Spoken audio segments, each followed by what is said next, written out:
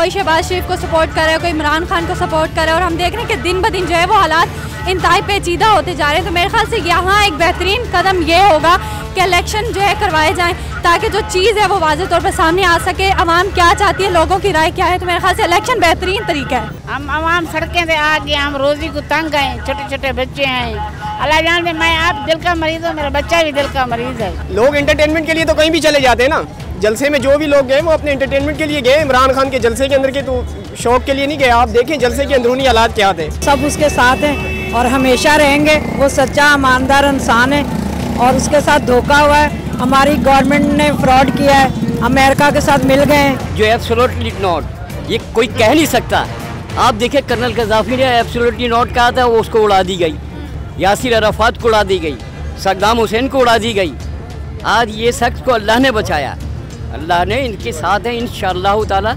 रहमान इन वो पाकिस्तान का वज़ीर अजम दोबारा बनेंगे। अस्सलाम न्यूज़ 360 के साथ मैं हूँ नंदनी। तो नाजरीन इमरान खान इम्पोर्टेंट हुकूमत के खिलाफ मुहिम शुरू करने वाले हैं और वो चाहते हैं कि अवामी इलेक्शन अवाम की रजामंदी से हो और अवाम गुलामी से जल्द से जल्द निजात हासिल करे। इसी हवाले से हम जानेंगे अवाम की राय। अस्सलाम आपका नाम? मेरा नाम नज़र सईद है। जो इमरान खान मुहिम शुरू कर इम्पोर्टेंट गवर्नमेंट जो बाहर की गवर्नमेंट है और शहबाज शरीफ की गवर्नमेंट के खिलाफ, उसके बारे में आपकी क्या राय है?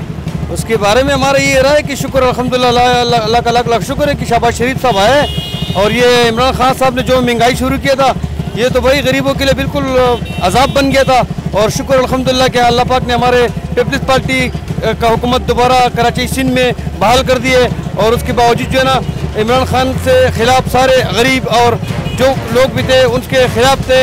अब अगर वो जितने भी ज़ोर लगाए, जितने भी डंडे उठाए, जितने भी बात दौड़ करेगा, इससे कोई फ़ायदा नहीं है। क्योंकि हमारे शहबाज शरीफ साहब ने जो काम किए, और इससे पहले जो अपने नवाज़ शरीफ साहब ने साहब ने जो काम किया था, उसमें ना इतना महँगाई था। इससे जो बेजार आया इमरान खान साहब से तो इन, इससे जो अपना इमरान खान साहब ने जितना भी महँगाई किया इससे सारे गरीब आवाम भी परेशान थे, और सरमादार भी परेशान थे।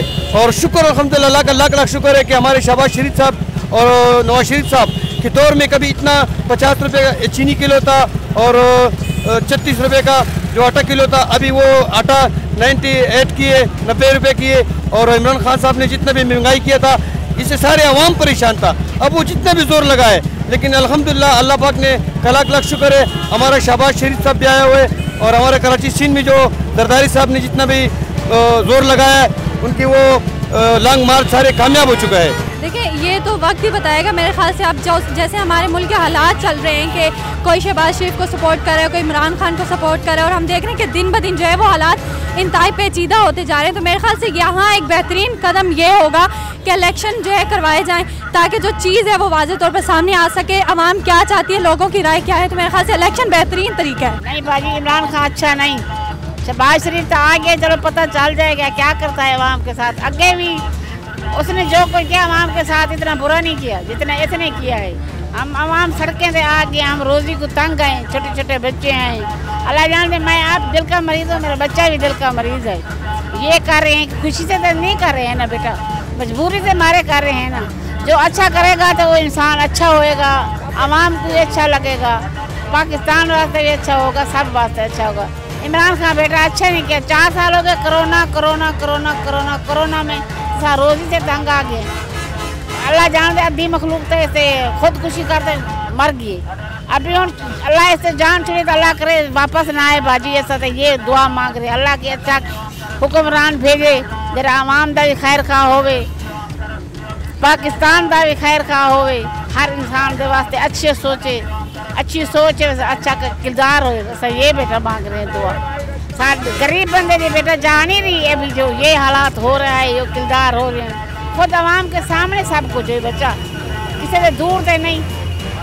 क्या कर सकते हैं? ऐसा तो ये सोच दो, अल्लाह की हुक्मरान मुसलमान भेज, जरा पाकिस्तान भी बेहतरी करे, सारी भी बेहतरी करे बेचा नहीं, हमें तो नहीं लगता कि कामयाब होगी, क्योंकि इमरान खान ने ऐसे क्या किया है कि उसे कामयाब होना चाहिए। अब सब कहते हैं कि इमरान खान पाकिस्तान को आज़ाद करेगा क्या पाकिस्तान पहले आज़ाद नहीं है। पहले भी आज़ाद ही है इमरान खान ने तो आज़ाद किया नहीं है। तो हमें तो नहीं लगता कि इसे कामयाब होना चाहिए होना भी नहीं चाहिए इसे कामयाब। जी। लेकिन अगर इमरान खान ने जलसे किए हैं तो लोग तो गए उनकी कहने पर। अब आप बताएँ इमरान खान के जलसे में लोग गए ये जो आप दरबार में आई हुई हैं यहाँ पे लोग नहीं है क्या? लोग इंटरटेनमेंट के लिए तो कहीं भी चले जाते हैं ना। जलसे में जो भी लोग गए वो अपने एंटरटेनमेंट के लिए गए। इमरान खान के जलसे के अंदर के तो शौक के लिए नहीं गए। आप देखें जलसे के अंदरूनी हालात क्या थे। वहाँ पे। अंदरूनी हालात तो वो नहीं थे जो होने चाहिए थे। जलसे में इमरान खान को कौन सुन रहा था वहाँ पे? लोगों ने तोड़ फोड़ कर दी थी वहाँ पे।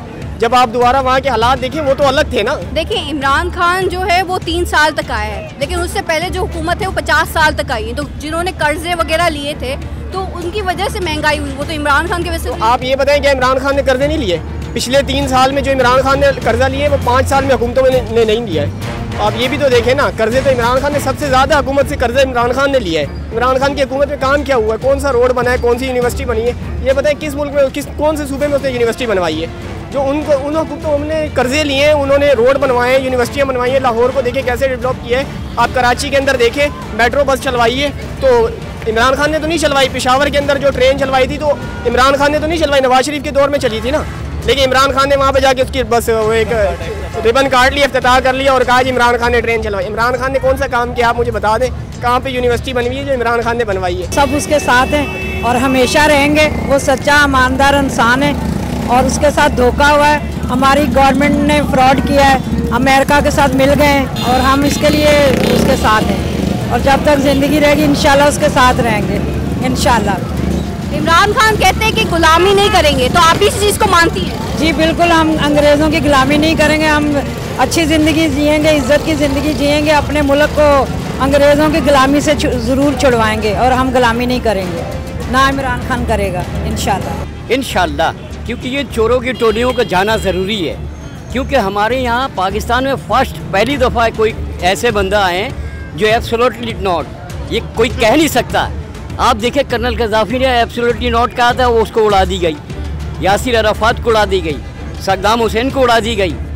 आज ये शख्स को अल्लाह ने बचाया। अल्लाह ने इनके साथ है इन ताला। रहमान इन वो पाकिस्तान का वज़ी अजम दोबारा बनेंगे। और इन मैं तो कहता हूँ कि जब तक उनकी ज़िंदगी है, वो बनते रहेंगे। पाकिस्तान का कोई एक बंदा ऐसा नहीं है जो कहेगा, मैं ग़ुलाम हो जाऊँ। बहुत ग़ुलामी कर ली हमने। अब बहुत इन लोगों को परख लिया। अब इन ताला रहमान हमारी दुआएँ हैं। और आज हमारे नौजवान जिस दिन इनकी ब्रेन आउट हुई ना तो इनकी तो घरों में आग लगा देंगे इन ये चोरों टोलियों का, चोरों की टोलियाँ। तो नाजरीन, आपने जानी अवाम की राय।